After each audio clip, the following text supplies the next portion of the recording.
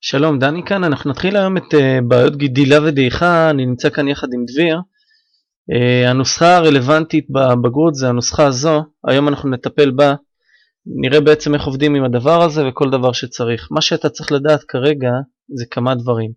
ה-m של t, הדבר הזה זה כמות בזמן או בשלב t, בסדר? זה כמות התחלתית, M0. Q זה משהו שאני קורא לו או מנה או קבוע אופייני אני אקרא לפעמים. קבוע אופייני לבעיה. ו-T זה הזמן או השלב.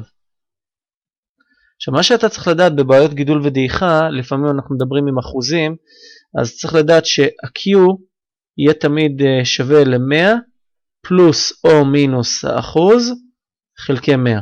כשאומרים לי גדל ב-20% אני אעשה 100 ועוד 20 חלקי 100.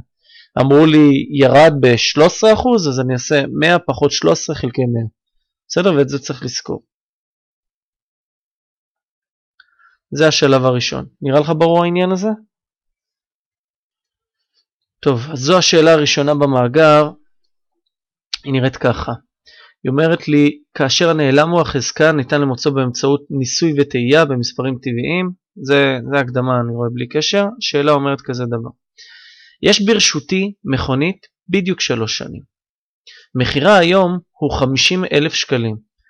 המחיר של מכונית משומשת יורד כל שנה ב-10%. א', מה הסכום ששילמתי עבור המכונית? ב', אם אמכור את המכונית בעוד שלוש שנים, מה יהיה מחירה של המכונית אז? אז קודם כל, כמו שאני מתחיל בדרך כלל שאלות, אני רושם פתרון, ואני אומר לבוחן, תמיד, תמיד, תמיד, באיזה נוסחה אני משתמש. אני פשוט מעתיק את זה, אני אומר, אשתמש בנוסחה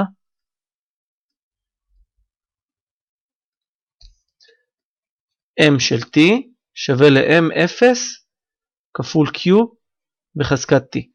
עכשיו מה שצריך לדעת, קודם כל צריך לזהות שזה בעיית גידול ודעיכה.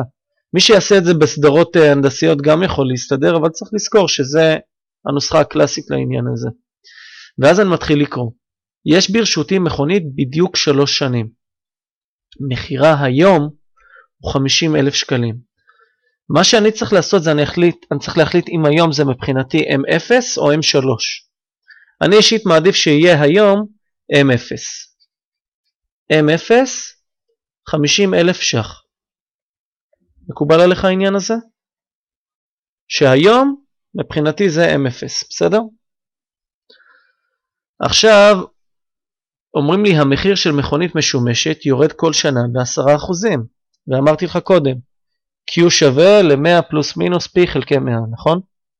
נכתוב לך את זה פה מול העיניים. בסדר? ואז אני רושם, ה-Q שלי שווה ל-100, ושים לב שזה יורד, אז אני עושה פחות, 10 חלקי 100. זה יוצא לי 90 חלקי 100, שזה 0.9. בסדר? אז זה שני הדברים הללו. ואז אומרים לי באלף, מה הסכום ששילמתי עבור המכונית? שילמתי עבור המכונית, זה היה לפני שלוש שנים. אז אני אכתוב לפני שלוש שנים שילמתי ואז אני צריך לשים לב איזה M זה יהיה. בתקופת זמן ב-T שלי, אני אסמן לך את זה, אתה רואה פה, ב-T הזה וגם ב-T הזה, אני אצטרך להחליף את זה לתקופת זמן שלי, שזה לפני שלוש שנים. אז אני רושם M של מינוס שלוש שווה. בסדר? ואז מה זה M0? M0 זה 50 אלף. מה זה ה-Q שלי? ה-Q אמרתי זה 0.9. והזמן אמרנו הרגע זה מינוס 3. וככה אני לוחץ את זה במחשבון, חזקת מינוס 3. מי שלא יודע איפה נמצא חזקה זה כפתור כזה במחשבון. אוקיי, בדרך כלל. יש גם כפתורים לפעמים x בחזקת y, או זה או זה. אז לחצת 50 אלף כפול 0.9 בחזקת מינוס 3, יצא לך 68,587, בעיקרון נקודה 10 אגורות, אבל נראה לי שעל ה-10 אגורות הם ויתרו בטח. אני אכתוב את זה בכל מקרה. בסדר עד כאן? עכשיו אומרים לי בבית, אם אמכור בעוד שלוש שנים, אז אני אכתוב בעוד שלוש שנים,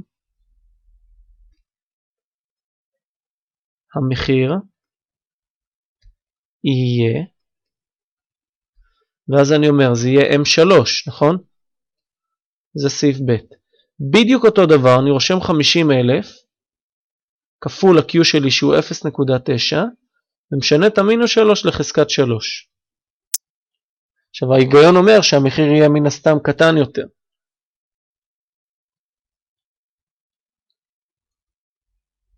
אוקיי, 36,450 ש"ח.